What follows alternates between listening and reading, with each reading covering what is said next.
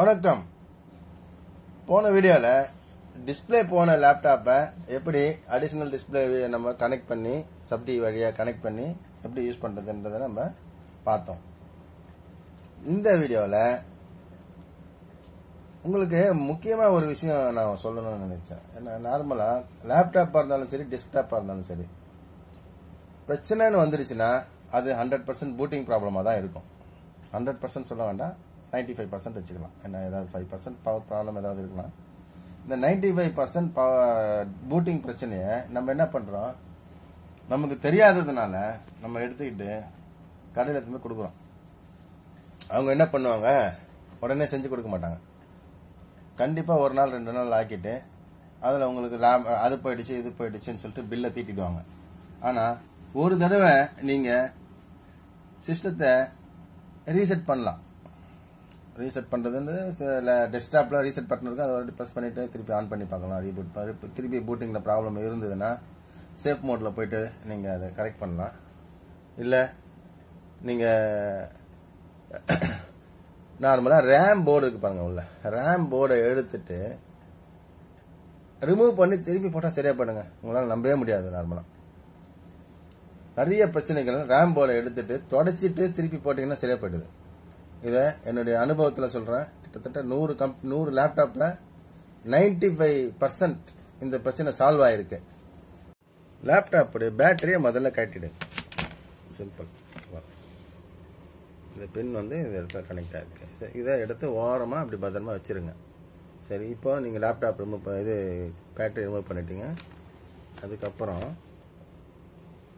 ரேமை access பண்ணணுன்னா இதில் நிறைய ஸ்க்ரூஸ் இருக்குது மதர் போர்டு இதெல்லாம் கட்டுறதா இருந்தால் நீங்கள் அந்த ஸ்க்ரூவெல்லாம் கட்ட வேண்டியிருக்கும் ஆனால் ரேமை கட்டுறது எதுவுமே கட்ட வேண்டாங்க. ரொம்ப சிம்பிள் இந்த மாடலுக்கு பாருங்கள் ஒரு சின்ன ஸ்க்ரூடை எடுத்துக்கோங்க. இந்த எஸ்கேப் கீக்கு பக்கத்துலேயே ஒரு சின்ன ஸ்லாட்டு அதை குத்தி தூக்கிட்டீங்க. பாரு தூக்கினோடனே வருது பாருங்க. சரிங்களா? இந்த சைடில் பாருங்கள் சைடில் சைடில் பாருங்கள் சைடில் தான் ரொம்ப முக்கியம்.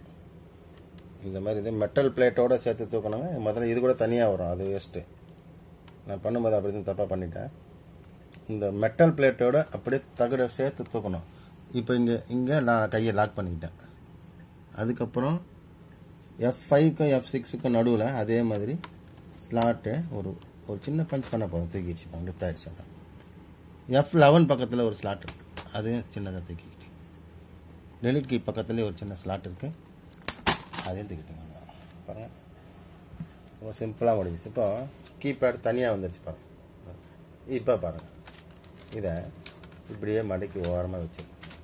இதை எடுக்கணும்னா நீங்கள் இந்த குட்டி ஸ்லாட் இருக்குது பாருங்கள் இங்கே. கிட்ட வாங்க இங்கே. இந்த குட்டி ஸ்லாட் இருக்கு இல்லையா? இந்த ஸ்லாட்டை இங்கே அப்படியே நீங்கள் எடுத்துடலாம். இதை எடுத்துட்டு ஒரு இந்த கீ பேடை தனியாக எடுக்கலாம். ஆனால் இப்போதைக்கு நமக்கு வேண்டியது இல்லை. நான் சொல்ல வந்ததுன்னா ரேமை ரீசெட் பண்ணணும்னு சொன்னேன் இல்லைங்களா? இந்த பாரு. இந்த ரேமில் இங்கே ஒரு இங்கே ஒரு லாக் இருக்குது இதை நீங்கள் சைடில் லிப் பண்ணலாம். அதே மாதிரி இந்த பக்கமும் ஒரு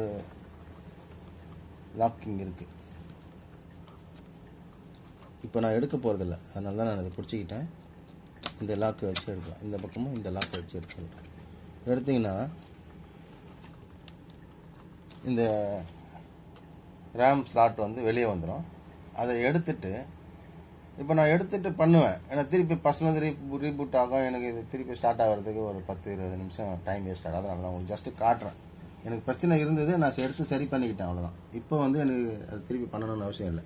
ஆனால் எப்படி காட்டணும்னு உங்களுக்கு காட்டணுன்றது தான் என்னுடைய இன்டென்ஷன் பார்த்துட்டிங்களா?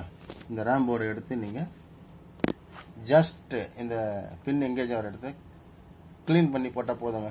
சூப்பராக ஒர்க் ஆகும். பிரச்சனை எப்படிப்பட்ட பிரச்சனையாக இருந்தாலும் சால்வ் ஆகிடும் நைட் அழகாக இந்த சைடில் நீங்கள் ஸ்லா ஸ்லாட்டை போட்டுட்டீங்க. இங்கே ஜஸ்ட் ப்ரெஸ் பண்ணால் போதும்.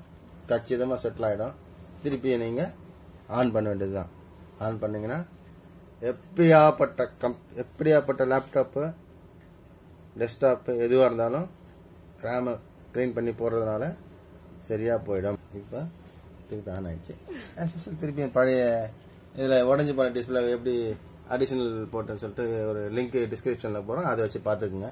இப்போதைக்கு முடிஞ்சிருச்சு அவ்வளோ இந்த வீடியோ உங்களுக்கு யூஸ்ஃபுல்லாக இருந்ததுன்னு நீங்கள் நினச்சிங்கன்னா லைக் பண்ணுங்க.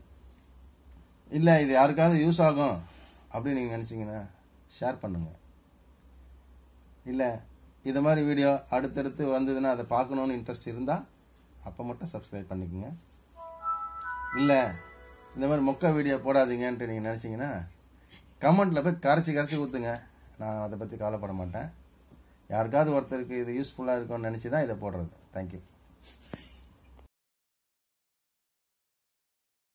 சரியாக போயிடும். பேட்டரியை போட்டுக்கோங்க மறக்காமல் பேட்டரியை ரிமூவ் பண்ணி வச்சிருக்கேன் மாமா தப்பு ஏன் வேலை இல்லை மாமா गाली बोला